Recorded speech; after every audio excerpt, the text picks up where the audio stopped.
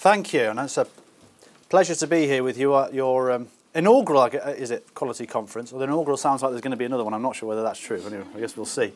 Uh, yeah, as Mark said, I'm um, responsible for almost all of the review work we do. The only bit you can't blame me for is uh, reviews of um, universities in Scotland, which are um, managed by a separate office that we have uh, up in, in Glasgow. What I hope to do uh, today, as the title suggests, is to talk a little bit about what we can learn from the outcomes of QA review, focusing uh, specifically on the outcomes of um, what is our current review method for reviewing uh, higher education delivered in universities and further education colleges. And that method is called Higher Education Review, and that was launched uh, in January 2013. Um, so we've got about 18 months of experience with that.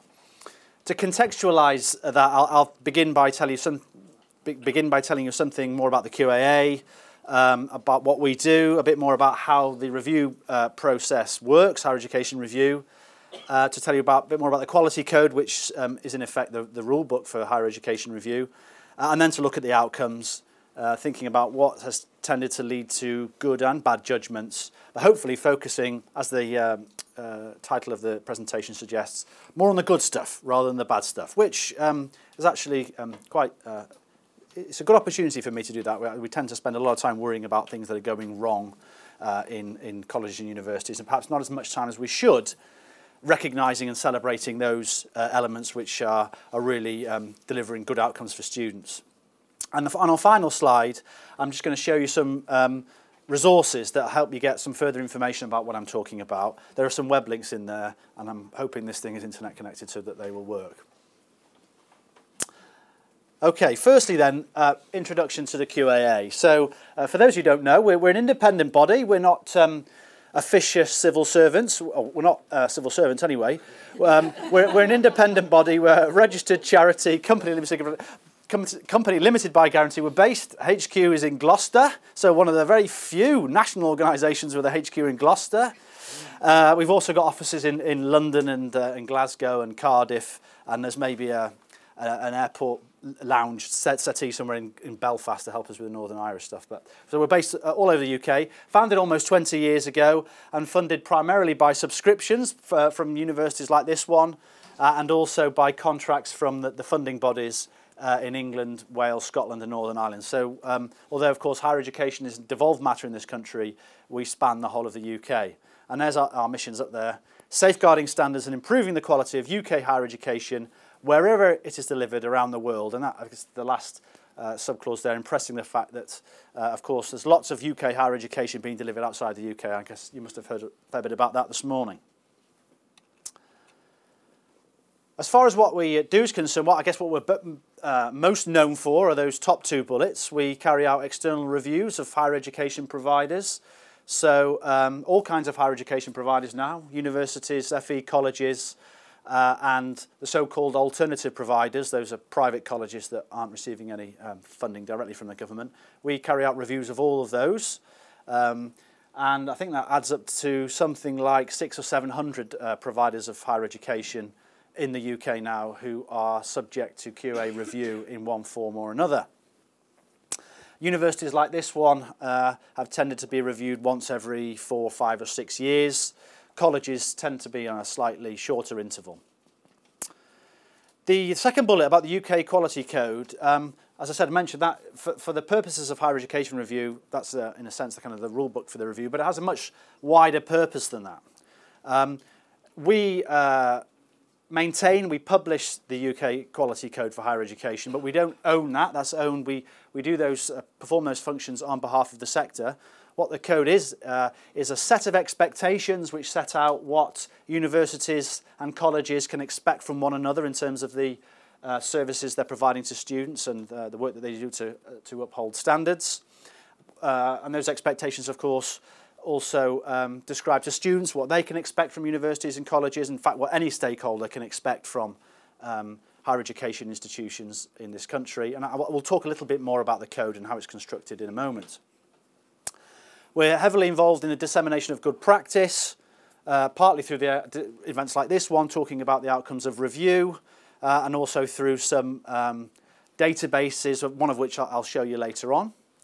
student engagement is a, a work we've been very heavily involved in uh, for a number of years. I guess the, the, the trailblazers were in, in Scotland where uh, students were involved, first as involved as reviewers on external reviews probably about 10 years ago now, and that's a model that we've rolled out uh, across the UK. Uh, we've also got uh, two students on our governing board, and we actually have a, a student advisory board now, which is a formally a sub-board of the, of the QA board, providing uh, advice to the QA board about um, uh, aspects of student engagement. That's a really fundamental part of our work. I'm really delighted to see a number of our student reviewers um, now, uh, I think, achieving, getting to the point where they are among the very best reviewers that we've got, uh, bar none. International work, uh, including with international agencies, that's manifest in a number of ways. Uh, we, for example, carry out reviews of transnational education. That's uh, education which is um, provided by or leading to awards of UK institutions overseas. That could be uh, branch campuses, it could be through collaborative arrangements uh, with um, partners overseas, or it could be through distance learning. Um, and we tend to conduct one of those uh, review activities every year. The last one that we did uh, was in the Caribbean. The next one's in the Mediterranean. It all sounds a bit glamorous. Uh, although the, one of the Mediterranean countries being visited this year is Greece. Maybe not quite so glamorous at the moment. Uh, and other, the other countries we've, we've visited recently include China and India and uh, Malaysia uh, uh and so on. And the approach we tend to take is to sample a, uh, an, uh, a number of links between UK institutions and institutions overseas and to, to look in detail about how th those links are working as a means to provide external quality assurance of, of, of, the, uh, of UK provision being delivered outside the UK. We've also got a number of uh, links with our counterpart organisations in other countries. We've, for example, have a, an MOU with our, our Malaysian counterparts. We've got about uh, 10 or 15 of those. Uh, and they're very much um, uh, vehicles for, for working with those agencies to try, uh, for example, to make sense in some cases of the regulatory burden which we, we know universities like this one may face when they're trying to set up and manage um, uh, uh, partnerships internationally. We are increasingly seeking to try and work in partnership with our counterpart organisations overseas to do things in a collaborative way, uh, try and take a, a joined up view about um, uh, UK institution uh, provision being delivered outside uh, these borders. Training and events for HE providers, um, I guess fairly self-explanatory. And two, two more functions which perhaps maybe not quite so obvious. First one is we provide advice to government on applications for degree awarding powers. So if an institution in this country wants powers to award its own foundation degrees or bachelor's degrees or research degrees, uh, they go through a scrutiny which is managed by the QAA, and then we then give advice to the government, uh, or to, officially to the Privy Council, at least in England, about whether uh, we think that that organisation is uh, capable of uh, having those powers. And finally, um, we regulate the access to higher education diploma. This is a qualification for some people who are sometimes called second chances, perhaps people who didn't do very well at school, but later on in life want to get back into higher education the Access to Higher Education diploma is a qualification which allows them to do that, and uh, we regulate the award of those uh, diplomas. Okay then, that's a little bit on the work of the QA. Just now, um, given what I'm going to say about the outcomes of higher education review, I thought it might be helpful if we just looked for a moment at how that process works. Fundamentally, higher education review is a very simple process and one which is probably very familiar to, to anybody, including outside the UK, who's involved in quality assurance of, of higher education. Uh, and the five stages are set out there. Important, I guess, to start by saying that it's a peer review process. So these reviews are carried out by peers, and by peers we mean staff who are working in other institutions and students who are studying uh, at other institutions. And the process uh, are set out there. Uh, normally submission of some evidence by the provider that's going through review, analysis of that evidence by a peer review team, a visit to the uh, provider, and we always visit regardless of the size of the provision, and there are some very small provision out there, uh, in some cases numbering in uh, fewer than 10 higher education students. A review visit obviously giving our peers the opportunity to meet students, to meet staff, to meet employers, in some cases meet other stakeholders, uh, to, and of course the meetings with students being particularly important uh, to get the, um, the word from the horse's mouth, as it were, about the experience of students at that institution. That then leads to a report which is published and finally an action plan which sets out how the provider is going to seek to take forward the outcomes of, of that review. And I just thought I'd tell you what the judgment areas are because this will help to contextualise what I say in a moment. We're making judgments in these reviews in four areas, uh, in standards, in quality of learning opportunities, uh, in information and enhancement. And just to explain those very briefly, uh, by standards we're talking about the level of achievement that a student has to reach in order to get a bachelor's award or a master's award or a research degree. Quality is all the things which a university or college is doing to help its students achieve a particular qualification. So that's teaching, academic and pastoral support, uh, library resources, IT resources, uh, admissions and so on. Uh, information, I hope, is fairly uh, self-explanatory, and of course, information being increasingly important these days. Uh, colleagues may have picked up uh, recently the publication by the uh, um, CMA of some guidance about how universities and colleges can make, make sure they're not falling foul of uh, consumer protection legislation on, on information. And finally, enhancement. Uh, perhaps another, another way of putting that is improving uh, the way in which uh, universities and colleges are providing uh, learning opportunities to students. I, say, I said I'd, I would say a little bit about the quality code. I think the quality code has something of an image problem. Um, it's uh, uh, certainly uh, construed by some people as a, a, kind of a manual, a very long manual at that, about exactly how higher education should be managed and provided. That's certainly one it's not supposed to be.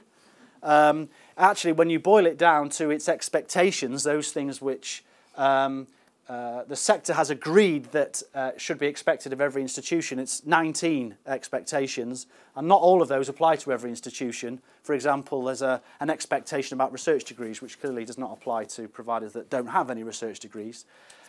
The, the, all the, the other stuff, or much of the other stuff, is very much about providing information and guidance to providers about how they should um, manage and provide higher education. So it's not mandatory, it's supposed to be uh, helpful, uh, and um, uh, we hope that it's, uh, it, it's received in that spirit, although we know in some cases uh, that it perhaps isn't.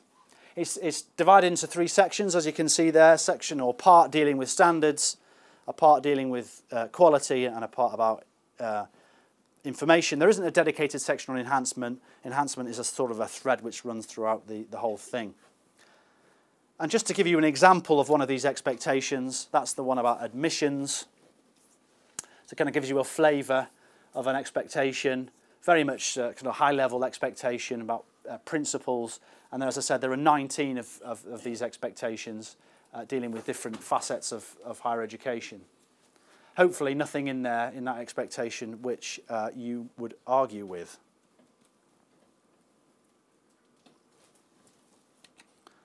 Okay, then coming on to um, higher education review and the outcomes uh, so far. We've done about 120, 130 of these higher education reviews now since the uh, method started about 18 months ago. In the first year, uh, there are only two universities went through the process. We're standing in one of them. Uh, another one's very nearby, Bradford. Um, and the other, uh, of the other 45 providers that went through in that year were, were FE colleges. In the current year, we've got a few more uh, universities going through. I think there are 21, but still a majority are, are colleges. So the HER story so far, the, sorry, the Higher Education Review, I, you may hear me refer to this as HER. The HER story so far is predominantly a college higher education story or, or, or an HE and FE college uh, uh, story. Uh, and so what a lot of what I'm about to say um, comes out of the work that we've done with, with FE colleges. We've had uh, one university so far with an unsatisfactory judgment. It wasn't this one, it was the other one nearby, but I won't um, uh, name them. And so far this year, we've had eight uh, uh, universities with commendations. I'll just sorry, stop there just to talk about the gradation of the judgments. I mentioned the judgment areas before. I didn't, didn't mention the, the, the grades, if you like. Uh, in most areas, there are four possible uh, grades. Um, the worst one is does not meet expectations. Then there's a requires improvement to meet expectations, meets UK expectations, or there's a commended judgment as well. And the first two of those, the does not meet and the requires improvement, are regarded as, quotes, unsatisfactory judgments. So we've had one of those, um, an unsatisfactory judgment. That was Bradford had some problems with its um, postgraduate research provision at the time. And we've had eight universities who've been, uh, had one of these commended judgments.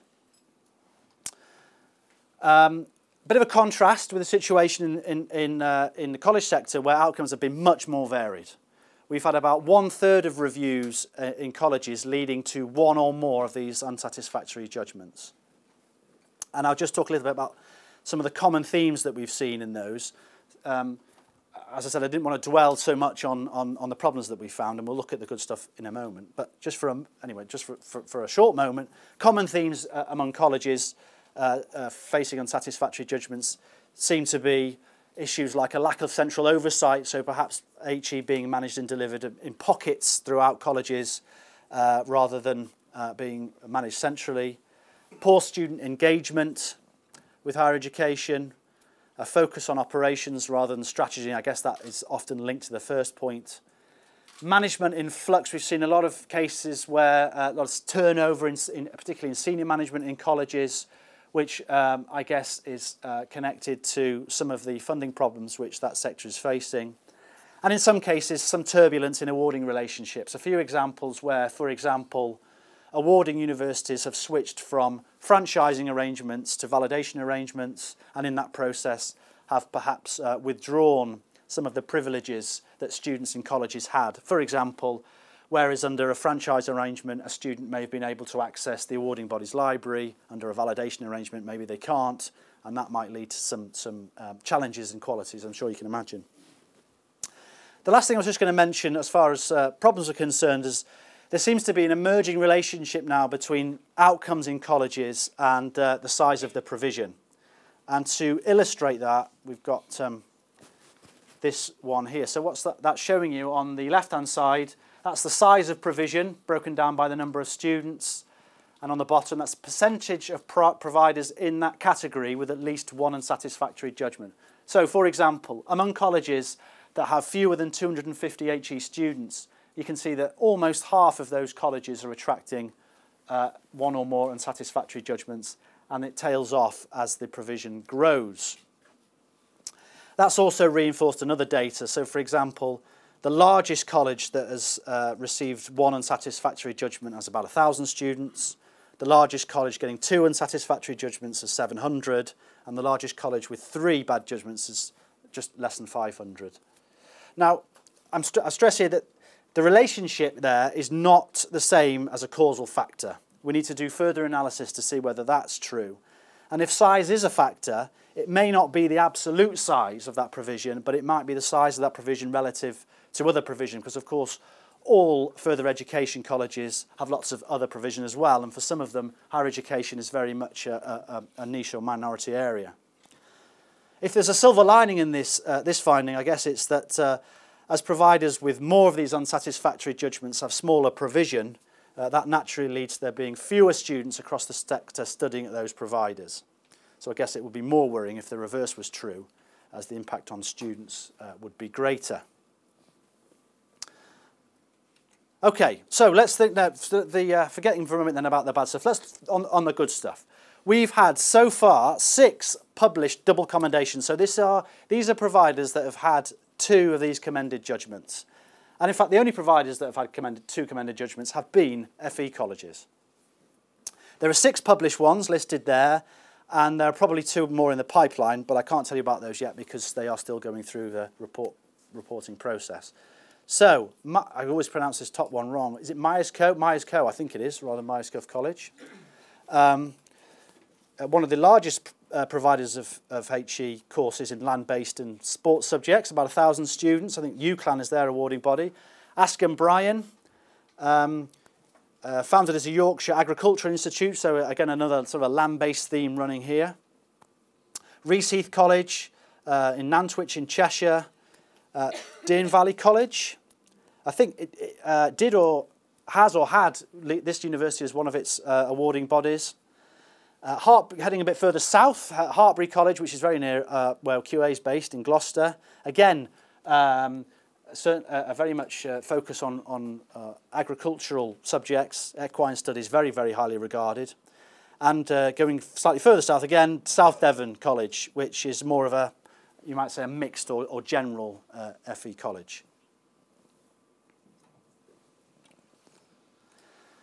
So, what can we learn from those colleges that have uh, achieved uh, two commended judgments? Well, of course, we need to stress that every college is different. Each of these uh, colleges has its own sort of unique success story. Uh, and indeed, we believe that one of the strengths of the QAA process is its ability to deal with each provider on its own terms uh, and recognise excellence in that context. And if you've got the time, I, I certainly would encourage you to read the full reports of those uh, reviews uh, which underlie what I'm about to say. And, and on the last slide, we'll look at how you can access some further information. But if you look at those, um, th those colleges and the 70 or so examples of good practice which our reviewers pulled out from those colleges, some common themes do emerge listed there. So first, a common sense of integration or coordination of teaching and other student support systems, a real feeling that each part of that system understands its role uh, as part of a whole and they're all pulling in the same direction for the benefit of students' academic and professional development. Second theme is about partnerships and genuine and meaningful partnerships between providers, or colleges in this case, and their three main stakeholders, students, employers and awarding bodies.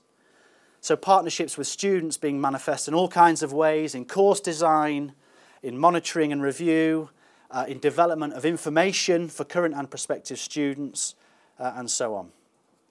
Partnerships with employers reflected also in course design, also in, uh, in course delivery, in assessment and review, and also in the provision of effective and relevant work placements. And finally, with awarding bodies, partnership reflected in full and active participation in the awarding body's processes, and not in a subordinate role, but in the spirit of mutuality between awarding body and uh, partner college. Fourth one there is focusing more on enhancement, and the third, the, sorry, the third one, and the theme there is about a strategic and holistic approach to enhancement. And that's not to say that colleges are taking a, a sort of an authoritarian approach, top down to enhancement, which is blind to the needs and the suggestions of, of individual disciplines. But there's also ownership clearly at these, in these colleges of enhancement at the most senior levels and a desire to push improvements which are in the longer term interests of the students and in the institution as a whole. And fourth, uh, some evidence in these colleges that in some areas dedicated higher education systems and processes um, are, are, required. And I know this is sometimes an area which we get into trouble a bit because we're accused of, of, of suggesting that colleges have to overhaul all of their processes in the interest of HE. I don't think that's true, but in some cases, including those areas listed, listed here, staff development, scholarship, professional engagement and so on, these colleges are doing things which are dedicated to HE and our reviewers certainly see that as making a positive difference. Okay then, final slide, I'm running out of time. As I promised what I would do is uh, just uh, give you some uh, insights into how you might get some additional information about all of this. And in the hope that this is going to work, I'll just show you four things very briefly. Build your own quality code. Now, that's not to say that you can ignore the rest of it. Um, what, what, what, I'll show you in a minute what that means. There's a college higher education toolkit, a special, a special one we developed for colleges. Uh, a review knowledge base, which allows you to get further information about some of the things I've said, and also some good practice cases. I'll just say, show this very briefly. So um, if you are interested in what the code has to say about a particular issue, so you can see ones that are listed here. Let's say, for example, you're interested in what the code has to say about equality and diversity. That's scattered among different areas of the code. But if you use this tool, you can tick that box and it, uh, I won't do it now because it'll probably take, it'll take a little bit too long, but you can have a bespoke document created for you with all the references to equality and diversity in the code and have that emailed to you uh, for, your, for your convenience.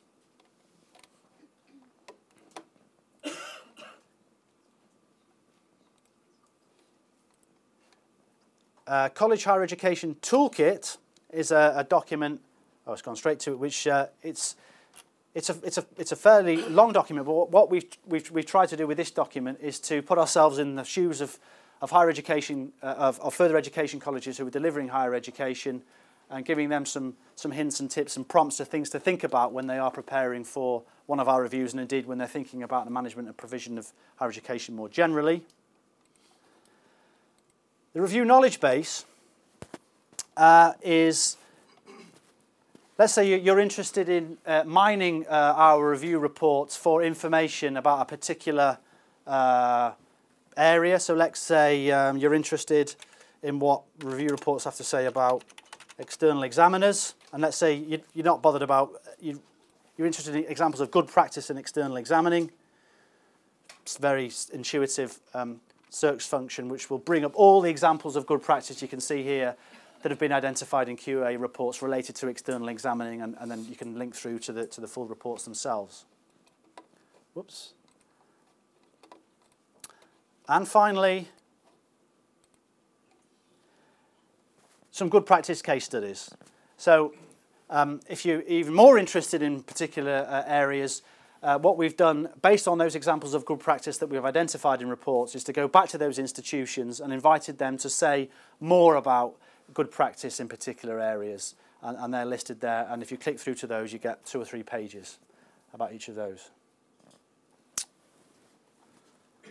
Okay, um, by coincidence, I've run exactly to time. Um, I'm very happy to uh, answer any questions quickly, but I'll be around for the rest of the day. I think um, uh, I'll be at the dinner as well this evening for those of you that are lucky enough to go to that one. So um, thank you very much.